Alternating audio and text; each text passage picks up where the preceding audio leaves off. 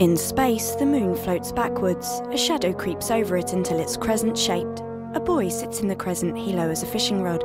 He twirls the fishing rod around, it knocks fluffy white clouds aside. DreamWorks SKG.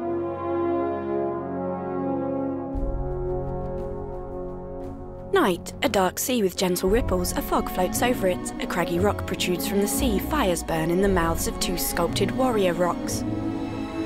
This is Berk. It's 12 days north of Hopeless and a few degrees south of freezing to death.